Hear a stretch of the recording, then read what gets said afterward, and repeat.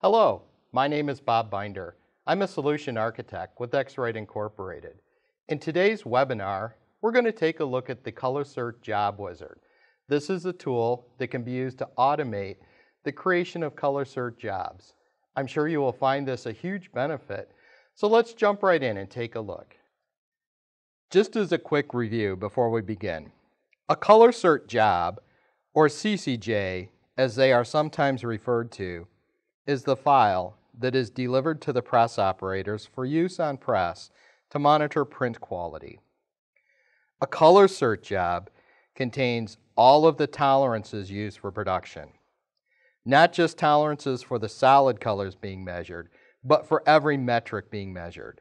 These could include tone value, min dot, undertone, gray balance, and so forth. The ColorCert job also contains all of the standards or targets necessary for proper reproduction. Again, this would be the targets for solid colors and other metrics being used. Lastly, the ColorCert job contains metadata, including the option to display an image of the item being printed. The Job Wizard speeds the creation of CCJs by using a template upon which new jobs are created. This template contains the necessary tolerances. It contains placeholders for colors.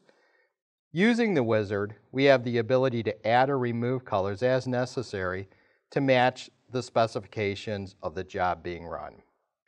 Finally, the wizard allows us to add any necessary metadata to our job. We also have a way to automate this process which I will demonstrate today. Let's take a look at how we use the Job Wizard in production. To begin, I've launched ColorCert. I'm going to click on Press Room Tools, and then I'm going to click on the Job Setup Wizard. Now when I do this, you'll notice the first screen asks me to select a template. I'm going to do so by clicking on the button here with the three dots which takes me to my folder for templates.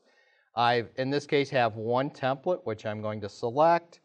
I'm going to click Open to open this template.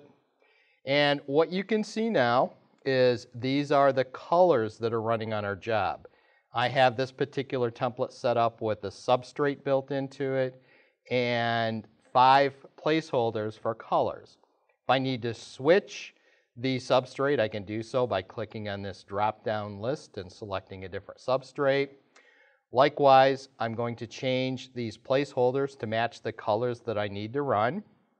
I'm going to do a couple of uh, different color options here to show you.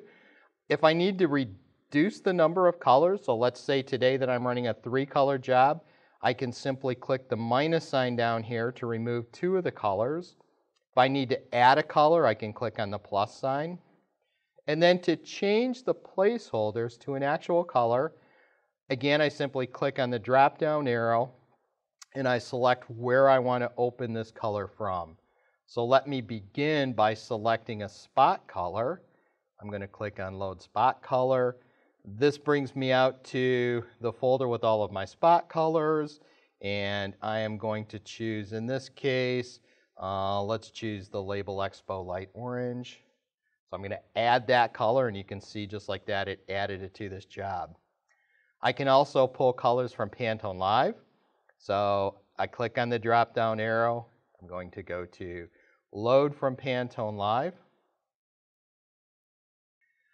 So let me grab a color from here. So I'm going to grab the Pantone pink and I'll select that. And let's add one more Pantone Live color. And this time I'm going to add a 347 green. And just so you know, we have a search window at the top. So I can enter in 347 and it will bring me right to it. So now I've got all of my colors selected. And now I'm going to click on continue. Okay, so now we need to add our metadata. There's several ways we can do this. One is obvious, I can just type it in. At a minimum, I have to include a job name and a job number. That's what the two asterisks here show us. I also have the ability to copy and paste metadata from a spreadsheet. So for example, if you have an MIS system, that would allow you to export your metadata in a spreadsheet format. I can just swipe over the appropriate uh, cells, copy it to my clipboard, and when I do that, this paste from clipboard button will become active. Clicking on that will paste in the data. Or, what's even slicker, I have the ability to import a PDF file, which is the image of my job. And if we have metadata embedded in that PDF file, it will automatically populate these fields with that embedded data. So I've got an image here of a get set label. I'm just going to drag it over to this field here, let go, and it drops the image in the job, and it automatically populates all of my metadata fields. With that, I click on continue. It's time to save the job. So I simply, and you'll notice that it automatically populated the save as field with whatever information I had in the job name field. I click save and the CCJ or the ColorCert job is saved. If I wanted to move into production, I could just simply click the measure tool and begin production. Or if I'm just building jobs for future use, I can click close, go back to Pressroom Tools and launch the wizard once again. All right. Well, hopefully you found today's webinar to be very beneficial. I'm sure that you're going to find that the incorporation of the Job Wizard into your workflow has the possibility of saving you a lot of time.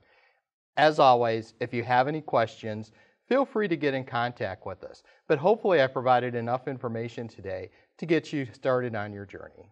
Thank you.